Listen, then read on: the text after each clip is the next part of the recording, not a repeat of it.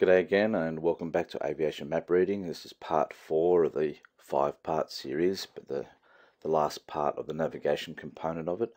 Today we're going to talk about satellite navigation, the Global Navigation Satellite System, commonly known as GPS, some various apps, and some deductive uh, reckoning for um, airborne map reading. So how does the GNSS work? Well, what a little bit on the history. During the Cold War, um, the Department of Defense in the United States wanted to be able to pinpoint where a submarine was so they could then launch an intercontinental ballistic missile. Now, prior to that, they had been using a system called Doppler. Doppler is basically a radar and it will follow a moving object, or if you're a moving object yourself, it can be used to track uh, the uh, relative motion of the ground. Now, that doesn't help if you're in a submarine. So what they decided to do was to create a satellite system to allow for ease of location of various things on the surface of the Earth. So they created the navigation system using timing and ranging global positioning system, known as the Navstar GPS. Love those acronyms in the military. So it was a global navigational satellite system, the GNSS, and it was 24 active satellites in orbit, and these satellites are known as space vehicles. Now, how does the system work? Well, it uses a system called trilateration, which means what it does, instead of using um, bearings to get a position, it'll use a distance. So a space vehicle will broadcast a signal at a particular time and it'll be measured against a, uh, an extremely accurate onboard clock, an atomic clock. The GPS receiver will then detect the signal and it'll compare the signal's receipt with its own clock. And so it does the following calculation. If distance equals velocity times time, then the distance will equal the speed of light times the time taken to reach the receiver. Because the space vehicle transmitted a radio signal, and radio signals um, travel at the speed of light, that's a constant. So now the only variable is the time. If they can, if the system can figure out the time the signal was sent versus the time the signal was received, and that speed of light or speed of radio signal is constant, then they can measure the distance by multiplying the velocity times the time. Therefore, if the pulse took 0.004 seconds to reach receiver, and there's the speed of light, then the GPS receiver must be 0.004 times the speed of light in meters, and the result is 1,199,169 meters from the space vehicle, or 1,199 kilometers away. So the system needs at least three space vehicles, uh, and from those three space vehicles, a position on Earth can be calculated. If you have four space vehicles, you can actually get a, an altitude as well. So that diagram there shows you some space vehicles um, looking at a roving receiver, that funny looking bloke with an antenna on his back. And by trilateration, those space vehicles can give the receiver its position on the ground, and the fourth space vehicle will give you a height above a reference point, which we'll talk about soon. So, how does it tell its altitude? Well, it uses a, a theoretical sphere, which we uh, spoke about in a previous part. It's called a spheroid. And so it's not actually using sea level as the reference. Now this spheroid uh, was updated in 1984 uh, via the World Geodetic System. Uh, WGS84 is its acronym, and it provides the reference for vertical um, vertical distance, i.e., uh, altitude. So if you're going to be looking at altitude on your GPS, you need to make sure that it's referencing the WGS84 datum and you can change that in the settings page. Now there are a number of different receivers but all of them have similar functions so we'll have a look at a few of them and you can see that even though they are different in uh, their construct and different in their brands etc they'll all basically have similar functions on similar pages so get to know those functions and it'll be make it it'll make your job easier so Garmin is probably the most famous brand on the planet. Um, the ones that you may find uh, in use quite often are the GPS Map series, the aera 500 series or the GNS 400 and 500 series, which are usually uh, mounted in aircraft. Here are some images of the various uh, Garmin receivers. Here's the, um, where are we? There's a GPS map 76 and the map 96. Uh, those are very small receivers. Uh, the aera 500, um, it's more of an aviation style receiver, but it's not mounted in the actual aircraft console. It's it's portable. And this here is the uh, Garmin 430, which is a very common aviation uh, GPS that you'll find in a lot of aircraft. Now smartphones have an integrated GPS receiver and what it does, it actually uses mobile phone towers to assist it. It's known as assisted GPS. Now if you are outside the range of the towers, uh, sometimes it will take a significant length of time for the GPS to lock onto the satellites. 30 seconds per satellite is what they average, and there are 24 satellites. So you could actually take you 12 and a half minutes for the GPS to receive uh, its signals and to clarify exactly where it is. But there's a thing in the receiver called an almanac, so it knows what space vehicles it's likely to find from a rough idea of where it thinks it is. So it'll it, it shouldn't take you 12 and a half minutes to uh, lock on to a GPS signal, but sometimes it can take a number of minutes. A lot of the smartphone apps can integrate maps or satellite pictures um, uh, with the information that it gets from the GPS, uh, as well as a compass. So it actually makes it quite a useful little device. So that's what we're going to talk about it now. Here are some screenshots of uh, the Apple um, Apple Maps and also the Apple uh, compass rose. Something interesting on the Apple program here, it provides you with latitude and longitude. Very useful. But there are better apps that can that can uh, display this information in, in much more useful ways. So what sort of information can it give us? Well, the most important information is the present position, but it can also give you other information such as, well, how many satellites it can see and its signal strength, information about any waypoints that you want to travel to, ground speed, and some navigation information. So depending on the, the GPS, it could be a track error or distance and bearing and time or elapsed time estimates. Here are a couple of pages from the GPS map series and also the aera 500 showing you the space vehicles. So let's have a look at what the information is that's presenting. Well, it's got your speed, at this stage here it's not uh, stationary, and the elevation, and the accuracy of your position, so within 29 feet, which for aviation is fine. Here's a, a, picture of the sky and the satellites that it's actually looking at, and the signal strength of from those satellites. Gives you the date and the time, and of course the location in latitude, in uh, latitude and longitude, in degrees, minutes, decimal. Now this one here, this is the aera 500, provides you basically the same information. What satellites you can see, the relative strength of the satellites, your ground speed, altitude, and degree of accuracy, as well as your present position.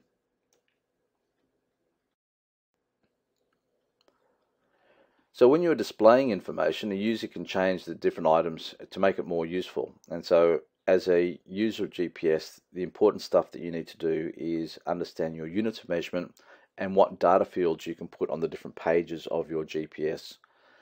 So in Australia, we use the metric system, except in certain fields. And those fields are aviation navigation and altitude. So when you are involved in aviation, your altitude is always going to be in hundreds of feet, and your um, distances and uh, speeds will normally be in nautical miles per hour or knots. Um, and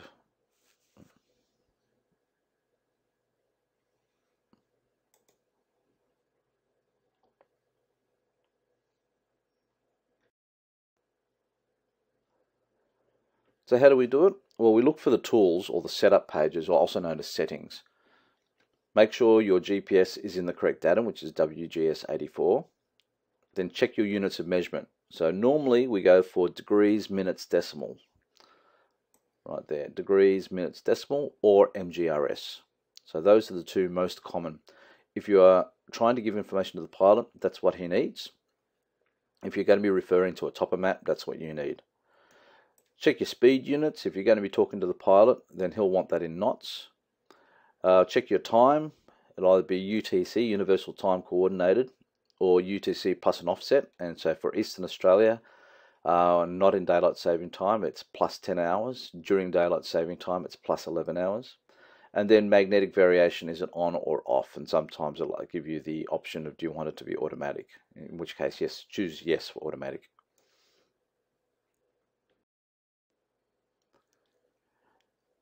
So here are some setup pages. Let's have a look at what it's showing you. Well, time format, that's telling you it's going to be 24 hour clock. Is there an offset on UTC? Well, it's got it off, but if I did want to put it on, the offset will be plus 10. Here's the date and here's the time. In the um, position setup page, here's the location format that I want. Degrees, minutes, decimal. The map datum is WGS84. My magnetic variation is automatic and it's already detected that my variation is 8 degrees east for the area that I'm in. Having a look at the map series, same deal. Position format, degrees, minutes, decimal, WGS84. Uh, here the it shows that the distance is going to be in statute miles. We want to change that to nautical miles, or if you're going to be over the ground using a topo map, you want kilometres. Uh, vertical speed, yeah, you want that in feet. Depth, well, it's not a big deal for us, but yes, feet. Temperature will be in Celsius for us, and pressure is millibars. Uh, here's another one here from a the map series. 24 hours. They've got time zone here. They've got central, which is a United States time zone. So we'll change that to Eastern Australia or plus 10. Daylight saving times, well, that will automatically detect like daylight saving time because that's common around the world current date, current time. So all those settings there can all be changed.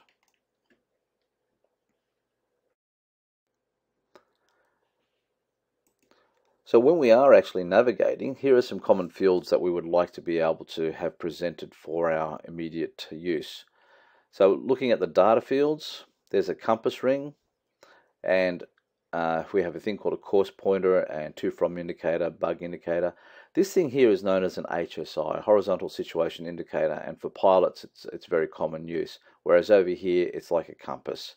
So that one there is, is very useful for pilots. Um, you can, if you're not a pilot, you can still use it, um, but it's got some extra information there that's, that's useful for track, uh, uh, track maintenance. Uh, data fields we've got here with speed in knots, KT is knots, distance to next waypoint is in nautical miles, NM is nautical miles. Your flight timer, so you can just press uh, a button and it'll start counting up, and the time of day. So when you're doing navigation, that is very useful. Over here, we've got slightly different amount of information. We have speed in miles per hour, distance to next in miles, the ETA at your next destination in local time. 12.37 p.m. is when you expect to arrive at your destination. And this here is your elapsed time estimate to next. So you'll be there in 1 minute and 28 seconds. And there's the direction that you want to travel.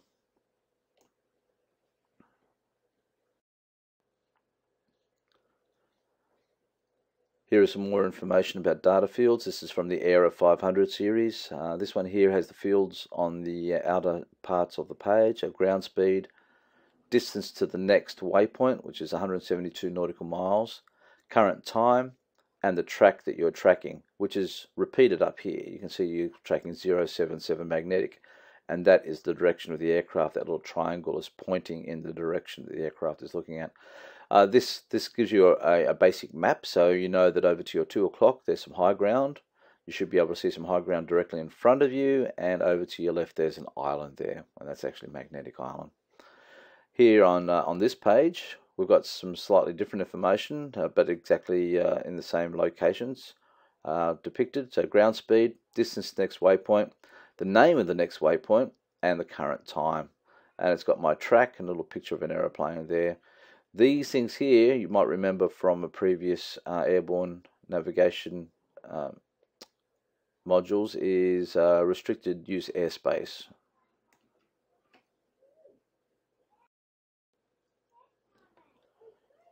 So when would you use present position page on your GPS? Well, if you're doing air observation or um, uh, air attack operations, especially for the Rural Fire Service or State Emergency Services or any other emergency service, um, the present, present position page is incredibly useful. It's invaluable.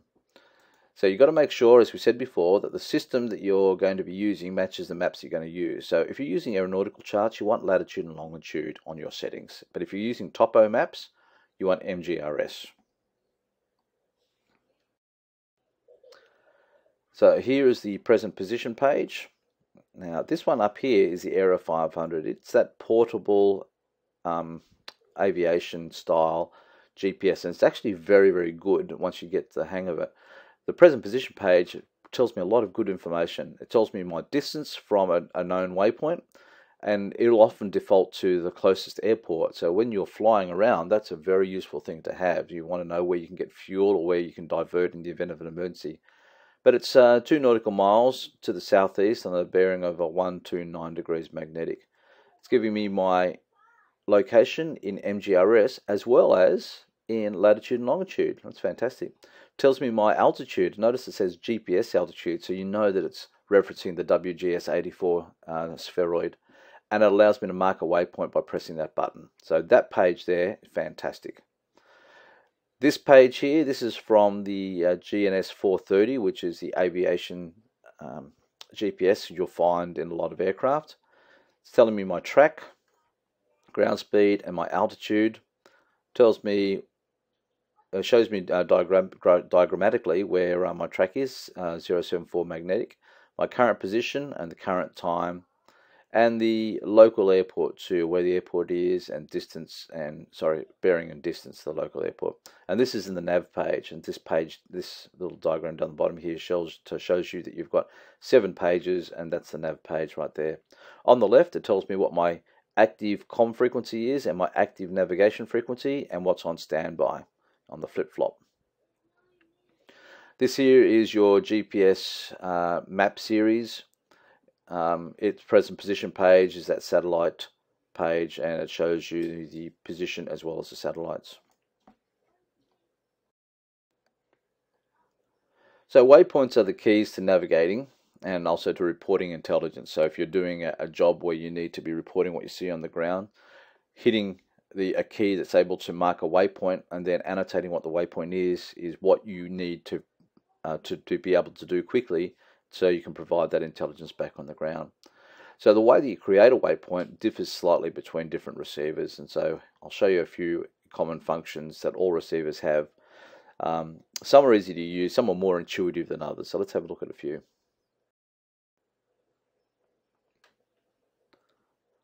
If you're using the GPS map um, series of GPSs, the way you mark a position is you press the mark slash enter button and hold it down. The present position which is showing on the on the screen will show up in the waypoint field and then you just assign a name. So that's how you mark a position that you're currently at. Now if you want to create a waypoint using the same series of, of GPS, you actually have to use similar uh, similar set of keystrokes.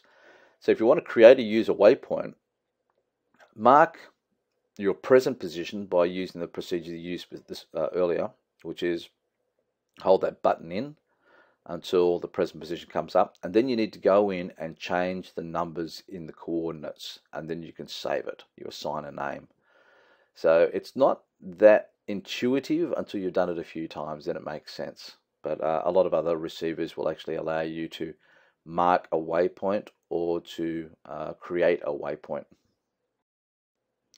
on the GPS map series, that's the, the button there. It's the mark enter button.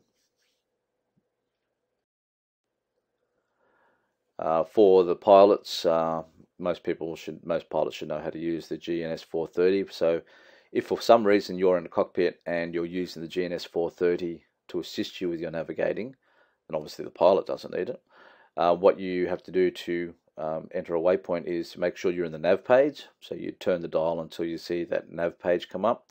Then you press the, uh, the push cursor button. Again, the present position will show. Press enter and then it'll go to the user waypoint page and then you can assign a name and save it. Now the pilot will have to show you how to use it because it does require knowledge on how to use the cursor and it can be a bit bit tricky. So here's the, the push cursor button. If you press that in, your present position will come up and then you can actually save it.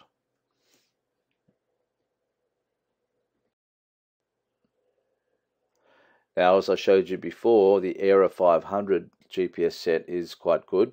You make sure that it's in the present position page and that large button that I showed you before, mark waypoint, and then you'll get a default keyboard and allows you to assign a number. So there's that button. Once you press that, it will save this position here and then you can assign a name to it and then it's, it's it uh, is saved in your waypoint, waypoint menu file.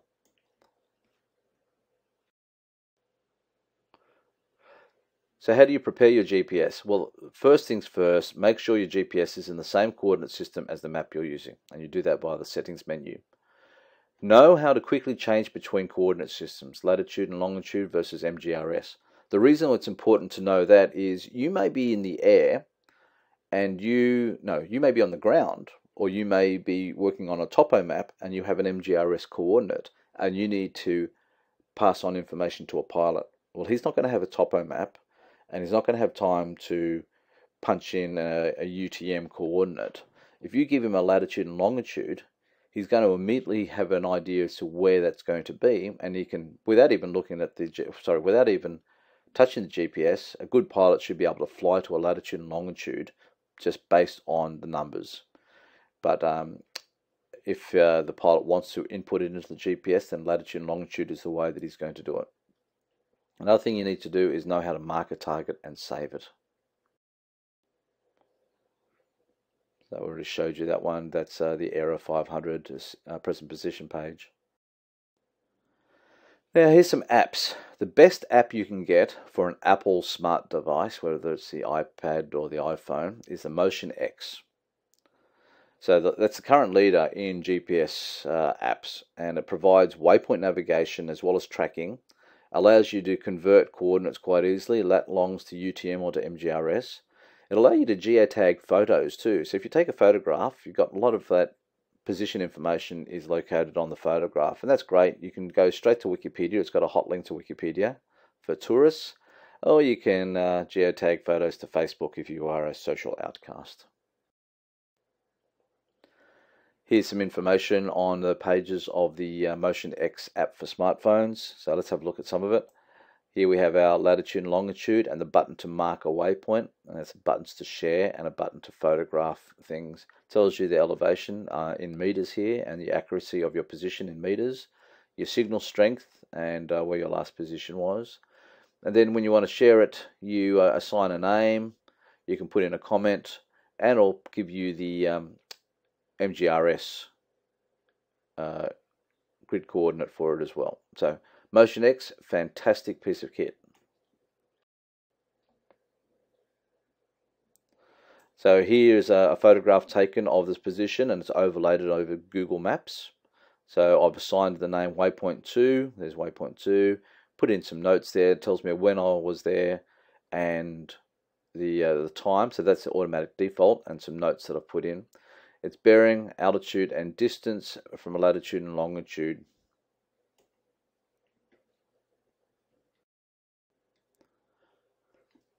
Unfortunately, Motion X is not available for Android Android uh, devices.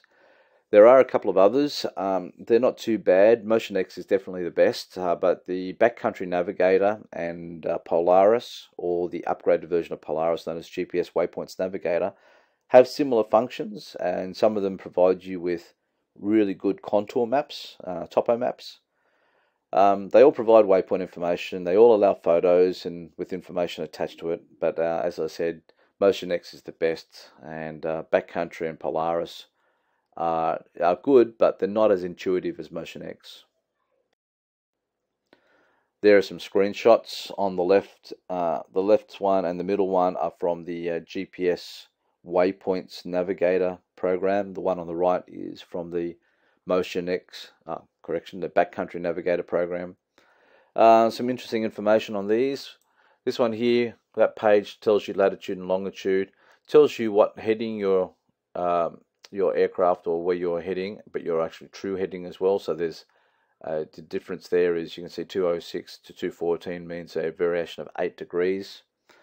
Uh, this here shows that the compass is using um, the magnetometers on board the, the smart device. tells me my accuracy plus or minus 90 meters, which is you know, probably needed a few more space vehicles to give me better accuracy. It says my altitude is 66 meters, uh, my speed in kilometers an hour, and distance from my last waypoint, and also the time uh, since I hit the button to start the timer. This here is a satellite page telling me what space vehicles uh, signal strength I'm getting.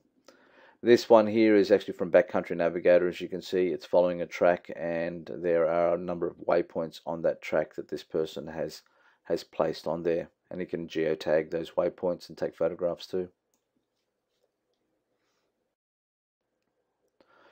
So when you are navigating in the aircraft, here are some tips for you. First things first, make sure your seating position is comfortable.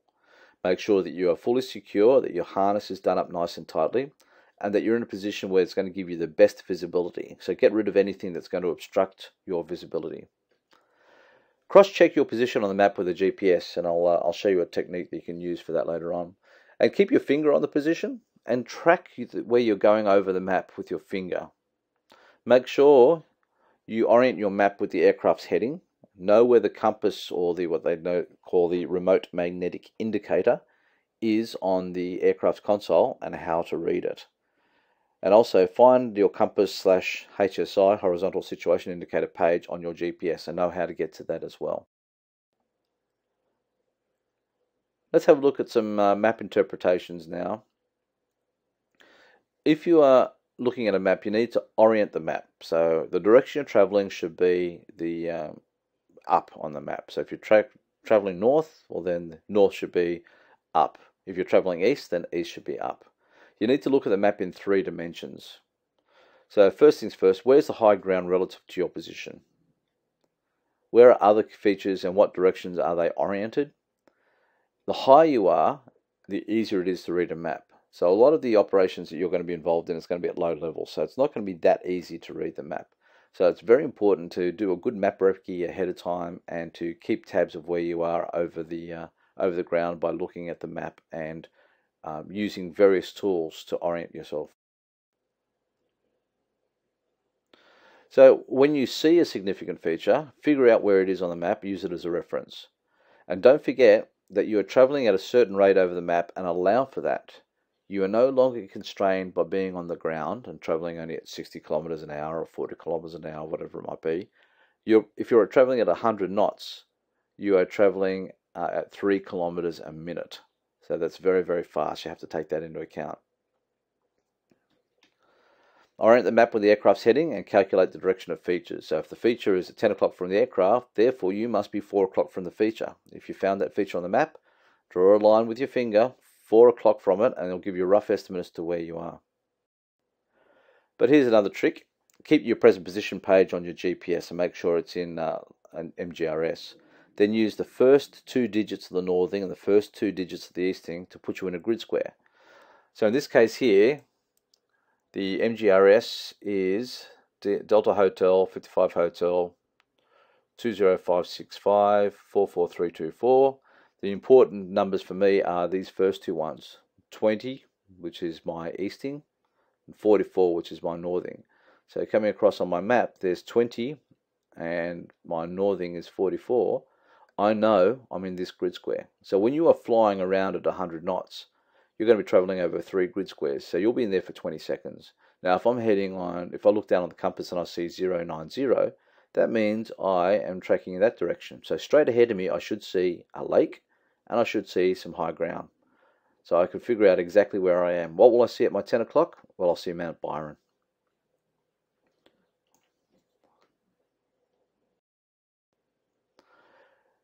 Now, sometimes we have, well, all the time we need to use uh, deductive reasoning or deductive reckoning, what's known as dead reckoning. So, as I said in the previous slide, have a look at the big features, figure out their orientation, and then try and find them on the map. I'll show you a couple of scenes and I'll show you an aeronautical chart, the Townsville um, visual terminal chart, and see if you can find where you are. So what do you need to do?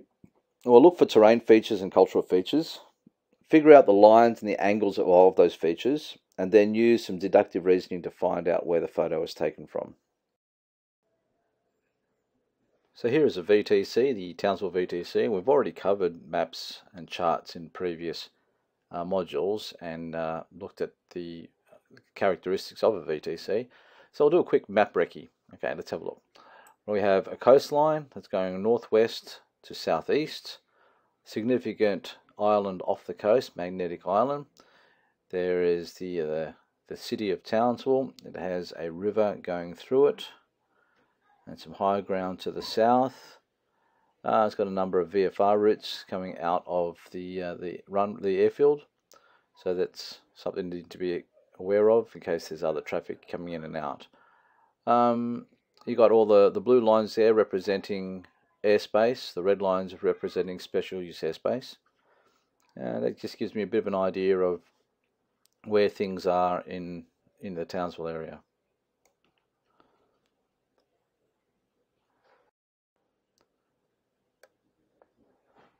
Okay, now here is a picture that we need to try and ascertain um, the location thereof. Let's do some deductive reasoning. First of all, let's look for some big features. The most obvious one is this river. Okay, the river has a bit of a reach in it, a straight a straight line, and then it turns to the right.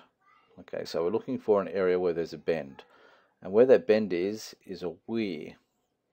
So there's a weir and a bend. Now how long is this reach? Well, let's have a look over here. There are some houses on quarter acre blocks. Quarter acre block has a 20 metre frontage. One, two, three, four, five. That's 100 metres from there to there. So from the weir, that's probably about 100 metres there, another 100 metres, 100 metres, 100 metres, 100 metres, 100 metres. So that's about 600 metres from there to there. All right, so I've got an idea. There's a reach from the weir to the bend, the significant bend, 100 meters. Uh, okay, over here, built up area to looks like the suburbs. Nothing of note. Big open area there. It's not a golf course. Don't know what that is. Uh, we've got high ground. Leading up to higher ground with some towers up there on the peak.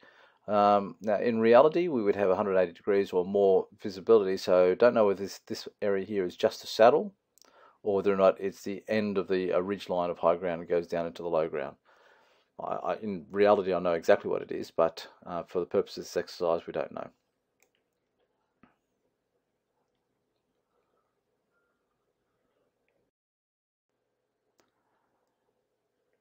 Okay, now let's have a look at the VTC and see if we can figure it out. What's the first thing I'm going to look for? Well, I know it's in the urban area and there's a river in it. So there's an urban area and there's a river. Now I looked at some weirs. Right, there's a black weir, Gleeson's weir, Alpin's weir. Actually, it should be Aplin's weir.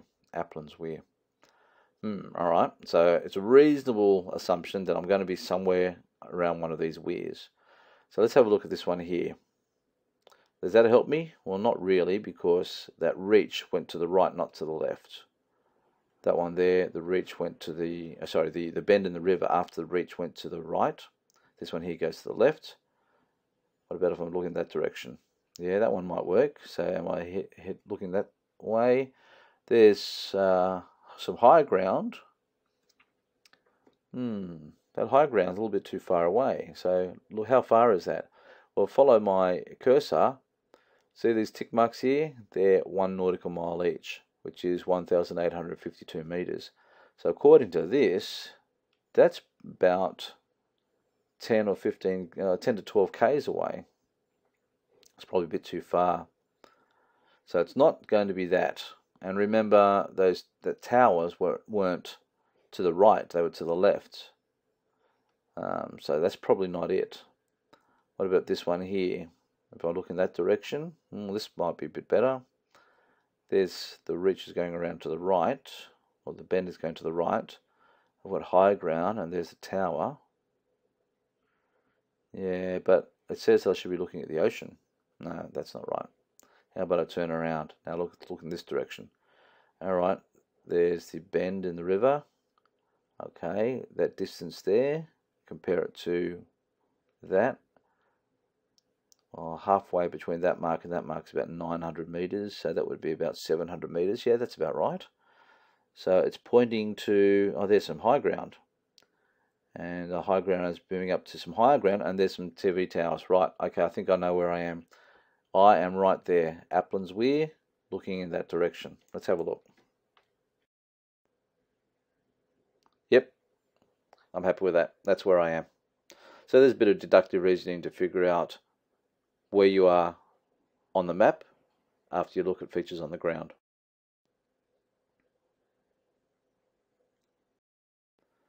Okay, this one here is pretty easy.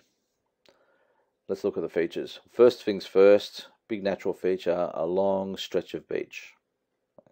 Now we have a man-made feature, a road that's paralleling it. There's a golf course there.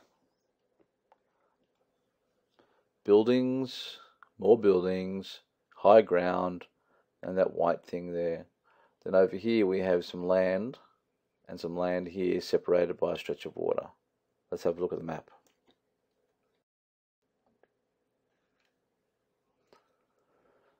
So why don't you put it on pause for a second, see if you can figure out where you are. Or, if you're like most people, you figure out straight away. There's a long bay with a road right next to it. There's a golf course. There's a built up area. And there's some high ground, uh, channel, and some land, which in this case here is Magnetic Island. Uh, on top of that high ground, we have the radar site. So that was that white golf ball looking thing. So where am I? I'm right here, looking along there. Here's one more picture to have a look at and try and figure out where it is on the map.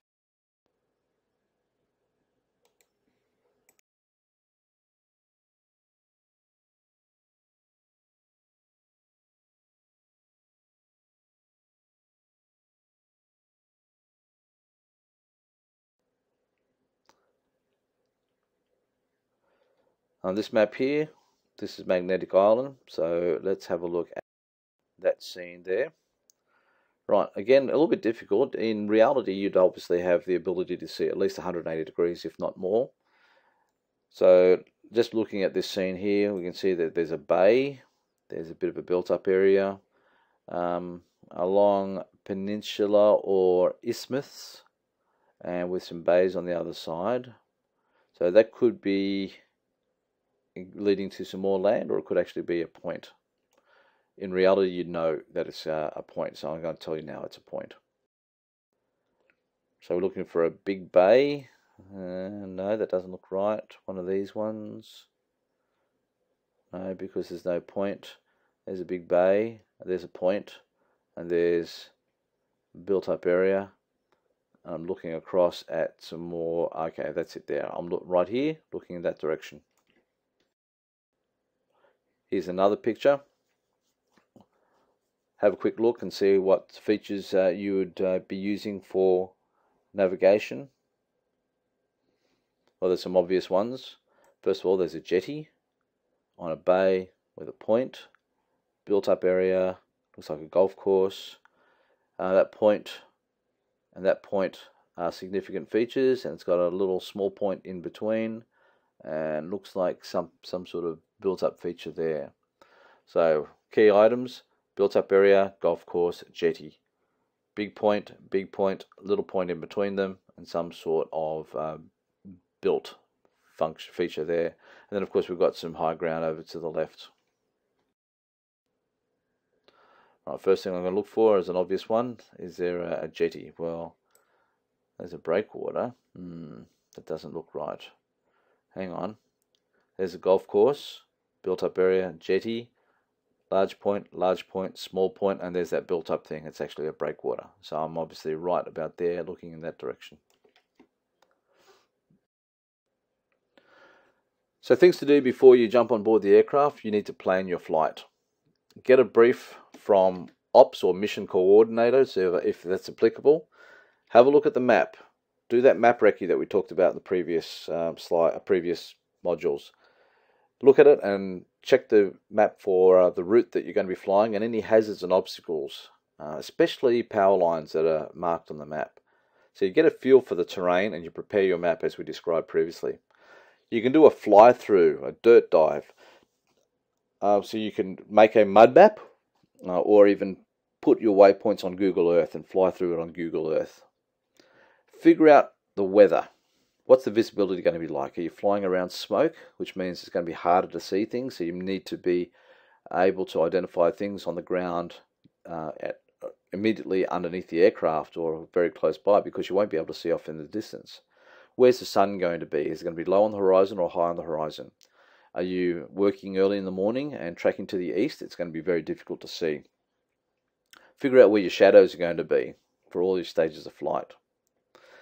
Also, think about where your fuel is and uh, how much fuel you've got, when you're going to have to refuel. Uh, payload and performance, usually the domains of the pilot, but you might not be able to take extra people on board. You may not be able to take all that big load of equipment depending on the aircraft type. So, in conclusion, a few things to take away. The GNSS makes navigation easy because it allows you to use GPS receivers.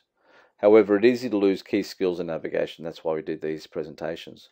So get to know the key pages on your GPS receiver. Know how to figure out where you are um, on one of the pages by the present position page and also how to mark a waypoint. Also know how to change the settings, especially from latitude and longitude to MGRS and vice versa. Uh, some apps are very useful for aerial observation because it allows you to take a photograph and geotag those photographs. So if you're doing observation of, say, uh, locust uh, plagues or uh, mapping fire grounds or looking at watercourses or checking dam levels and things, uh, you can take photographs, allocate a waypoint name to them, and put some notes against them. And then when you're back on the ground, you can then hand that information over to the planning team. When you are doing some navigation and you are doing that deductive reasoning, look for the obvious and then look for confirming factors, as we just did in those last few slides. Don't bend the ground to suit the map. Very, very common mistake of inexperienced navigators. You say, oh, the river bends 90 degrees on the map, and then you look at the uh, the terrain, and oh, the river looks like it's bending 60 degrees. Oh, that should be right. Maybe the map's wrong. No, the map won't be wrong. Don't bend the ground to suit the map. Well, that's the end of part four. Thank you very much for your attention. I hope you got something out of it. For those of you who are participating in the practical component of this, uh, this course, exercise drone search will be the last module. So it's an airborne exercise designed to demonstrate and teach airborne navigation using a helicopter. And you go over such things as uh, converting a magnetic, uh, so make converting bearings into tracks, true and magnetic, working out um, timings over the ground when you are flying through the air, and being able to identify waypoints, taking photographs, and gathering intelligence. Anyway, if you're not doing that, thank you very much for your attention and uh, have a great day.